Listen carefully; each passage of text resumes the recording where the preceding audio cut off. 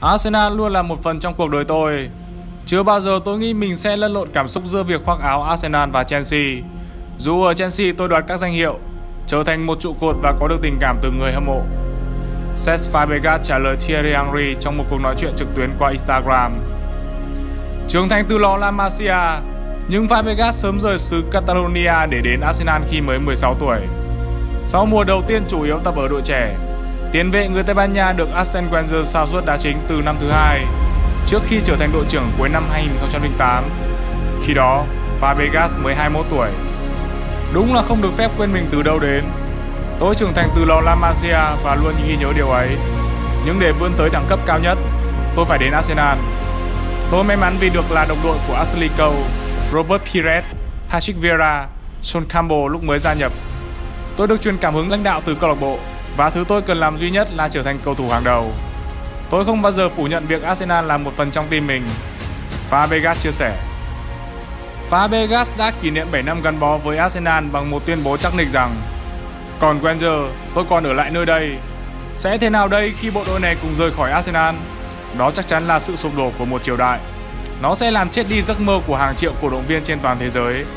Những người đã suy tôn, tin tưởng và từng ngợi ca Wenger. Một khi Fabregas dứt áo rời khỏi Arsenal, thì còn mấy ai sẽ tin vào cái gọi là trung thành? Là biểu tượng của sức trẻ và con đường thành công mà giáo sư đã phát thảo ra. Đó là chưa kể, lối chơi của Arsenal thời bấy giờ chịu ảnh hưởng rất nhiều từ hạt nhân 23 tuổi người Tây Ban Nha. Phá sản lối chơi thì quá dễ, nhưng để xây dựng nó lại trong một vài năm là việc chẳng dễ dàng. Wenger đã từng bán Vieira để bảo vệ vị thế của Fabregas tại Arsenal. Ông cũng từng để Henry ra đi để đưa cầu thủ số 4 ra vũ đại ánh sáng. Và còn nhiều nhiều nữa những cầu thủ tưởng chừng không thể thay thế tại Arsenal, nhưng cũng đã trở thành di vãng chỉ sau một mùa giải. Đơn giản, vì Wenger không bao giờ thiếu sự bổ sung cần thiết. Đôi lúc, người ta thấy khó chịu với cách làm quá kinh tế của giáo sư, bất chấp lời kêu gọi của cổ động viên về danh hiệu, với tầm ảnh hưởng của các siêu sao. Một câu nói nổi tiếng năm 2006 của Wenger Nếu có một siêu sao nào đó tại Arsenal thì đó chỉ có thể là Angry. Câu nói này đã trực tiếp giết chết niềm hy vọng của Barca về một tam giác kim cương Angri, Messi, Eto đầy kinh khủng lúc đó. Angri đã chấp nhận ở lại Emirates thêm một mùa bóng nữa để đợi những Robin van Persie, Fabregas, Theo Walcott trưởng thành. Có lẽ 8 năm là khoảng thời gian tương đối dài để các cổ động viên Arsenal chứng kiến sự trưởng thành của một trong những tiền vệ tài hoa bậc nhất của thế giới thời bấy giờ. Fabregas là sản phẩm của lò đào tạo lừng danh La Masia, nhưng tài năng, đẳng cấp của anh được nâng bước và thừa nhận dưới bàn tay của giáo sư Arsene Wenger. Được trao chiếc băng đội trưởng ở Arsenal khi tuổi đời mới chỉ 21. Điều đó chứng tỏ tầm ảnh hưởng của Fabregas lớn tới nhường nào. Ở Arsenal, Fabregas từng là một biểu tượng. Từng đường bóng, đường truyền trong chân anh đều mang lại một mối nguy hại tiềm tàng. Trên đôi chân ấy, Fabregas đã giúp Arsenal bám trụ vững vàng trong top 4 suốt nhiều năm liền sau sự ra đi của những Angry, Hleb hay Patrick Vieira. Niềm tin mà giáo sư Wenger và các cổ động viên dành cho anh luôn trọn vẹn và đong đầy. Người ta từng nói về sự ảnh hưởng của Wenger tại Emirates. Điều đó là không phải bàn cãi, khi mà ông đã dành hơn hai thập kỷ để gắn bó cùng pháo thủ. Nhưng bên cạnh đó, có mấy ai để ý sự ảnh hưởng của Cesc Fabregas trong thời kỳ hậu mùa giải bất bại của Arsenal năm 2003. Năm thứ bảy chơi bóng tại ngoại hạng Anh, Cesc chính là nhân chứng sống và cũng là sợi dây lịch sử liên kết giữa thế hệ vàng và người kế tục dưới triều đại của Wenger. Nói về ảnh hưởng của Cesc tại Arsenal, chỉ có thể nói bằng bốn từ. Nhân vật thứ hai của Emirates, tức là chỉ đứng phía sau giáo sư người Pháp. Người ta lấy làm lạ là tại sao Gala lại có thể nhẫn nhịn khi Wenger tước băng đội trưởng để trao về cho tiền vệ người Tây Ban Nha. Tuy nhiên, với những người gắn bó lâu năm với câu lạc bộ này thì họ sẽ đều nhận thấy rằng Gala là một cầu thủ có tính chuyên nghiệp rất cao và ý chí quyết thắng của anh với Arsenal là quá rõ ràng. Có lẽ Wenger là người thầy duy nhất trên thế giới có cách bảo vệ học trò đến mức cực đoan.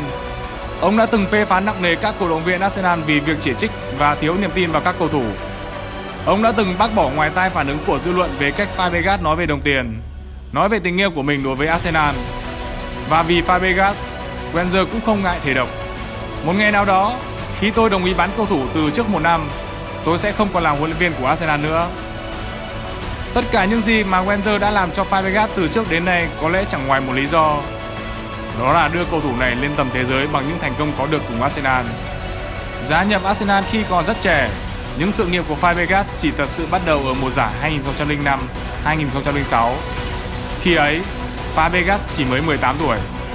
Anh được giao trọng trách khỏa lấp đi khoảng trống mà người đàn anh Vieira để lại. Fabregas đã chơi cực hay và góp công lớn giúp Arsenal vượt qua Real Madrid ở vòng 1-16.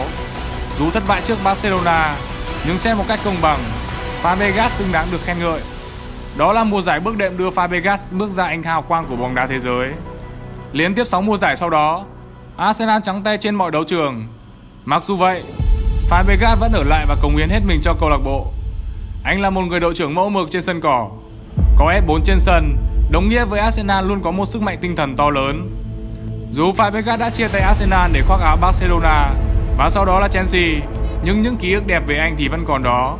Ngày Fabregas đến Chelsea, không ít những fan Arsenal đã nói anh không ra gì. Nhưng vào những phút giây này đây, khi con đường chơi bóng tại anh đã đi đến chặng cuối, không ai có thể trách được anh. Anh có thể đến với Arsenal trong 8 năm để rồi ra đi. Đó có thể xem là một mối lương duyên không trọn vẹn. Nhưng điều cốt lõi động lại, đó là một tình yêu cháy bỏng không bao giờ tắt nơi chàng trai xứ đấu bò dành cho pháo thủ. Dù tương lai có như thế nào, thì hình bóng Cesc Fabregas vẫn mãi động lại sâu đậm trong tâm trí người hâm mộ The Gunners.